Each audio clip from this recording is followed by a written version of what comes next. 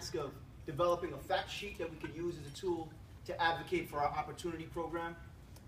My name is Enrique Noguera. Good afternoon, everyone. My name is Rebecca Quino. I'm Ada Castro Hennig. Vanessa Cruz. And I'm Scott Cornell. And for our case study, we took the form of creating a college opportunity program, and we're going to be talking to you, the legislatures of uh, our state.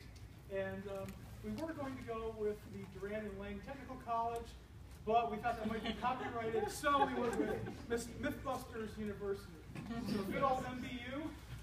Um, we don't have a football team, but we're trying.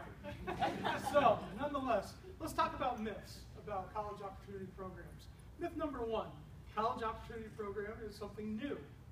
That's not the case. Our program has been around, and it was born 40 years ago. Uh, it's designed to serve the academically and financially vulnerable students. Students that uh, might not get into college any other way, but they've got potential. They've got the desire to be successful, and they've got the ability to do it. Our job is to help them. Uh, currently, our program has graduated about 35,000 students since 1974, and we're very proud of that. We started small, and we're growing every year. Myth number two, a lack of awareness means a lack of applicants. That is not true.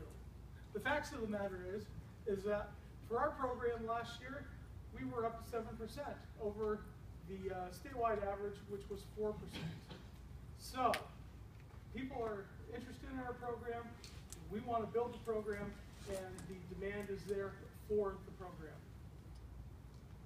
Myth number three, opportunity programs are solely for minority students.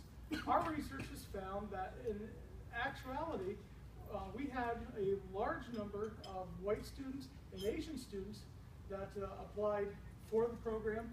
Uh, the numbers up there, if you, if you can read in the back,